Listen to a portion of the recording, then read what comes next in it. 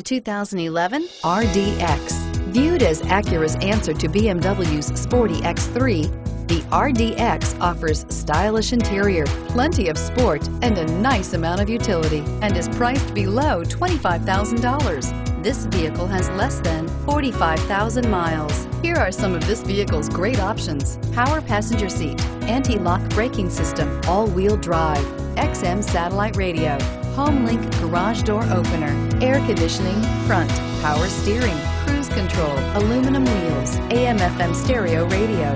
This beauty is sure to make you the talk of the neighborhood. So call or drop in for a test drive today.